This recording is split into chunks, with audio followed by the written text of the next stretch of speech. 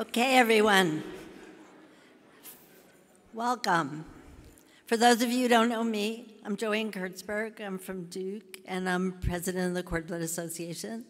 Um, I want to welcome you all on behalf of my co-chairs, Karen Ballen and Marcy Finney, um, to our third in-person but fifth annual uh, Cord Blood Connect meeting. Um, and I know everyone is um, excited to be back in person um, in Miami without a hurricane um, which we always worry about.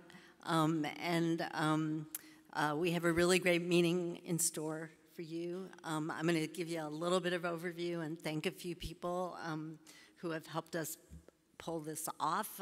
first of all, our sponsors, and um, CryoCell are platinum, CBR and Viacord are our gold, and Gamida Cell, Mesoblast, uh, NMDPB, the match, StemCyte, and Vita 34 are our silver, and we thank them very much for making the, giving us the support to make the meeting a reality.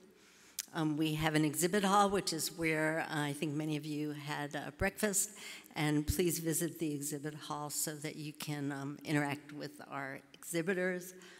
Um, we have many partner organizations who have uh, given their support uh, for the uh, concept of having the meeting, and we thank all of them. And of course, many of you who are here are members of these various organizations. Um, we have people here from at least 25 countries, um, including the Ukraine, um, which I think is quite remarkable given all the challenges of traveling these days. Um,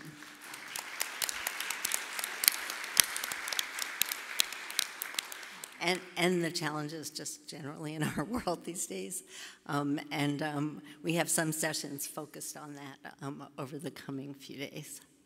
Um, again, I want to mention and formally thank Karen Ballen and Marcy Finney, who have been the co-chairs of the meeting and who, with their committees, have put together the wonderful program that you'll uh, be exposed to over the next couple of days. Um, the scientific program committee, which was led by Karen um, and Ngaire Elwood, um, had the members listed on the slide and put together really a great program. And then the technical and education program committee, which was led by Marcy and Arena of SIVA, who really wanted to be here, has sent us all many emails wishing us luck, but couldn't come in person, but I know is with us in spirit, um, put together the technical program. Um, I want to call everybody to uh, the fact that everybody's attention to the fact that our last session um, is going to be with um, Delia Ephron, who is an author. You may know her because she wrote the movie You Got Mail, if you're a rom com kind of person.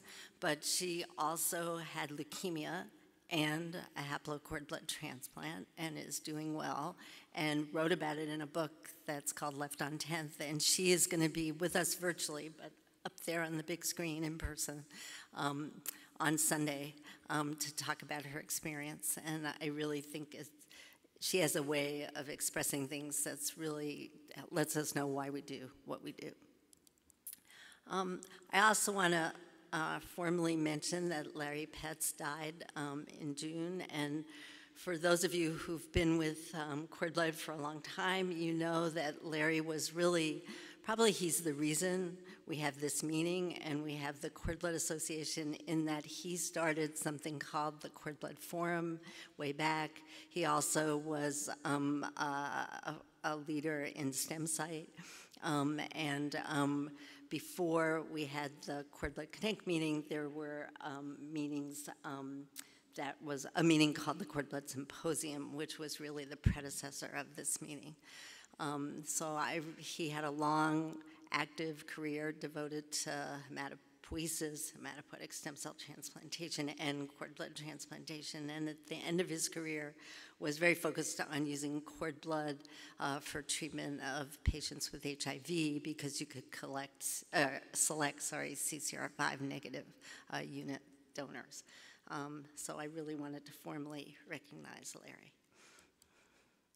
Um, I also want to formally thank Alan Leahigh and Dieta Waldock Snyder, who are meeting organizers and are the reason you are sitting here in the room and had breakfast, and we'll have all the meals over the days, and you have your badges, and you have your books, and you have your, uh, you know, whatever those things are called, your bags that, uh, that you're going to carry your materials in, and really made everything happen. You wouldn't be sitting here, and we wouldn't have a program or any of the things you need to have to have a meeting if it wasn't because of them. I don't know where they are. oh, I see Dieta back there. Okay. All right. Now, this is a surprise, um, at least I hope. Um, Alan, I don't know where you are, but I need, oh, there you are. I need you to come up for a minute. Um, we decided, we, we have a tradition of giving a Cord Blood Association Lifetime Achievement Award. And Hal Broxmeyer was our first recipient, or I'm sorry, Eliane Gluckman was our first recipient, who's here, and Hal Broxmeyer was our second. And now Alan is going to be our third. And Joanne, this was not part of the agenda. I know, I'm supposed to know everything that's going on at I this meeting. know, but it got added. So Alan, I am very proud to give you this award. Um, Alan is the whole reason we have the Cord Blood Association. It's the whole reason we have the meeting. Uh, I wouldn't be standing here if it wasn't for Alan. Uh, and it's the whole reason that we exist. So I really wanted to recognize that and um, give him the third annual Cord Blood Association Lifetime Achievement Award.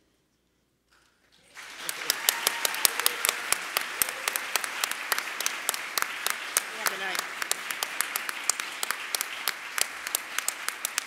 Thank you so very much.